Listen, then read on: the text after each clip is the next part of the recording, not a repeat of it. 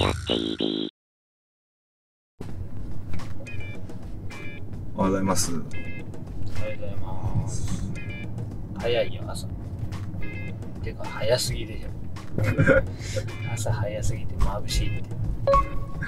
マジよく寝れました。寝れねえ よ。早すぎて。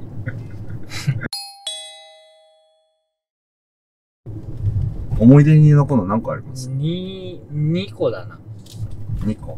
うん。じゃあ、第2位なんです。第2位は、とここの骨なんていうの？頬骨。頬骨？はい。頬骨が折れたんかひび入ったんか。折れたんかな？その場面。どうなってそうなったコーナーキックで、マークとかつかないで。来たボールをクリアする係ね。あの、守ってるんですね。守ってる時ねうん。で、その時に、ボールが来たと思って、なんていうの？自分の左側にボールが行ったんだよ。少し。はいでやべ、行かないとと思って、顔をこっちから、こっちに向けた瞬間に、ナスの顔面が俺のとこ、顔にボーンって当たって、ほんで、ここ折れた。それがめちゃくちゃ痛かった。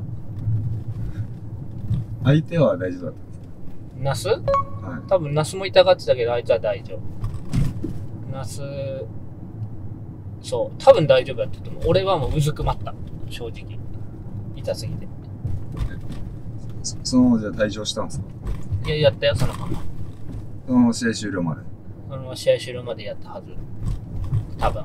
で、病院行ったら、病院行ったら折れてますってなって、そっから、えーっと、目がもうパンパンに充血して、はい。もう、もうこっちだけ真っ赤みたいな。目が。内出血で。はい。ほんで、すぐフェイスガードを作りに行って、はい。で、また次の週末出たよね。どんくらい治ったんですか？えー、2、3週はでもフェイスママス、フェイスガードしてて。だから、まあじゃあ1ヶ月ぐらいじゃない？でももう一回ボールそこに当たって、もう一回なんかなったら手術ですって言われて。で、あた当たんないように、ヘディングとかほとんどしなかった。あ結構痛かったです。いや、めちゃくちゃ痛かったよ。うずくま、俺うずくまることめったにないけど、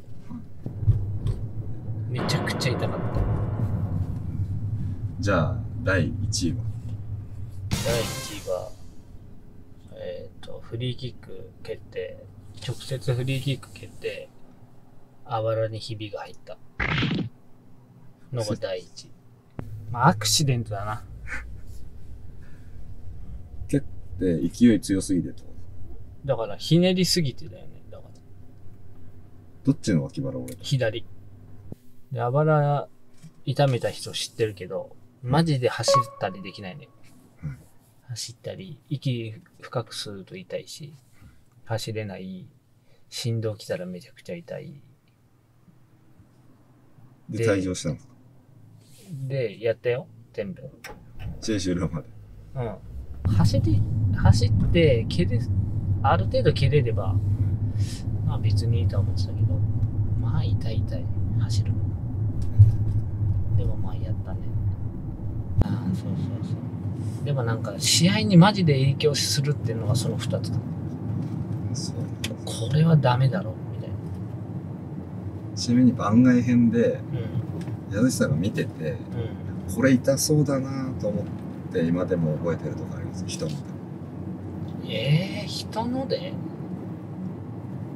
覚えてんのは、なんかあった。だ、まあまあでも、庭大輝が顔面ブロックした時に、なんかマジでノックアウトされたみたいな顔してた時、痛そうと思って。それは大丈夫だったんですか？その後。その後大丈夫だった。なんか普通に。あいつマウスピースしてるから、はいマジでボクサーみたいに見えて、はい。よかったね、マウスピースしててみたいな。でも痛そうみたいな。ディフェンスの宿命っちゃ宿命ですよ。まあ、ディフェンスがキーパーだよね、痛そう。思いっきりめ至近距離からシュート打たれて、なんかもう、体のどっかに当たるとか痛そうでも。かわいそうでも。結構ボールって速いですもんね。速いよ至近距離からでキーパーなんて手広げていくからさ。無防備と。俺らとかこうやって守ったりできるけど無防備でいくからマジで痛そう